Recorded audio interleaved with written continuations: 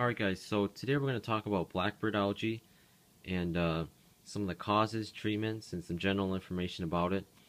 Uh, I've been doing a lot of research on this topic lately because I've been getting some in this tank and uh, I'll talk about why I think I'm getting it. Uh, but first we'll talk about the general cause. it almost always leads back to uh, CO2 levels. So you either have low CO2 or uh, fluctuating CO2 levels. So like higher CO2 at the beginning of the day and then as the lights are on and the plants are using the CO2 uh, you'll have lower CO2 at the end of the day. That's usually the case with non-CO2 uh, setups like this. Um, so that can become a problem.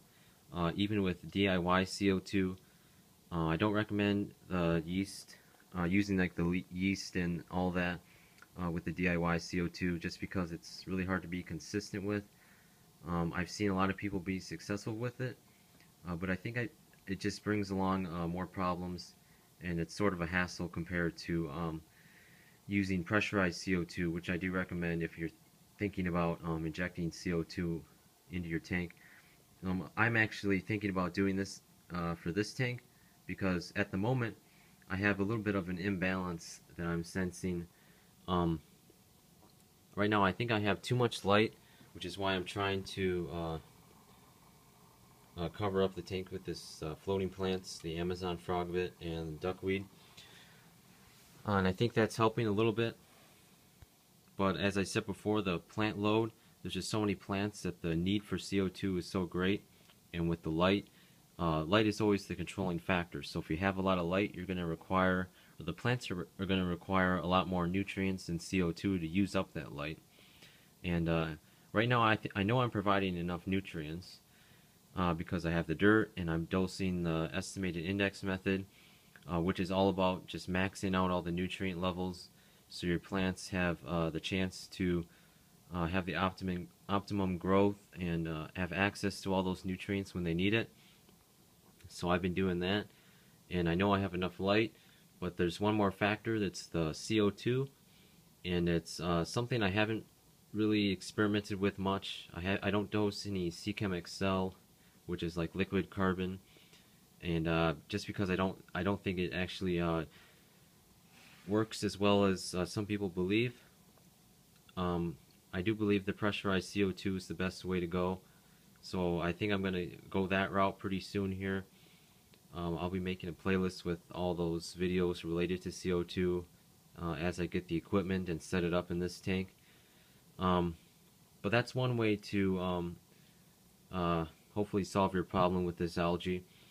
Uh, manual removal is a pretty simple way of just getting rid of uh, what you have in your tank because even if you start dosing the CO2 uh, the black beard algae probably isn't going to die. It's just going to not uh, have any you're not going to see any new growth on the leaves.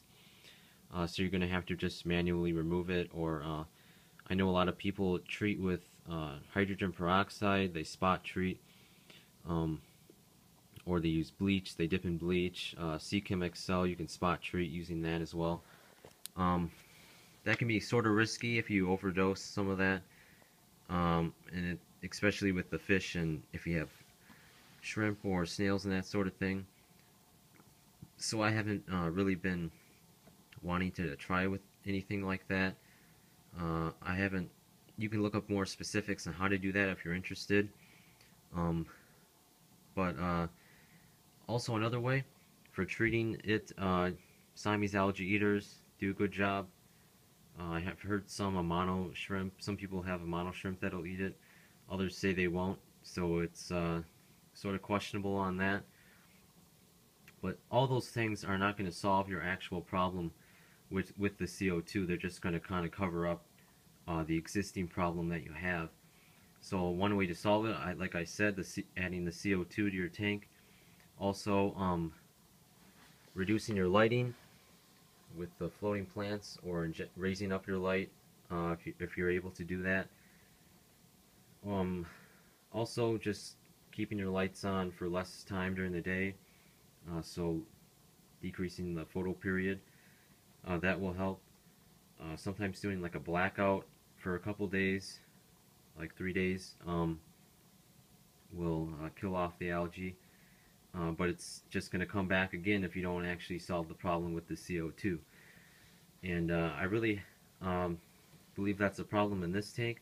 I also believe that uh, too many organics in the water uh, can cause this algae to form.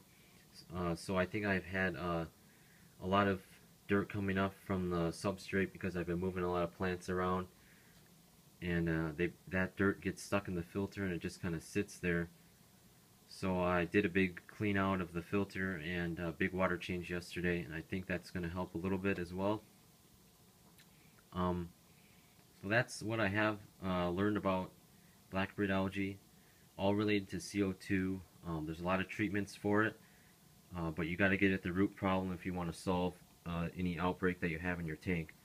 So uh, that's all the, all the information I have for you today.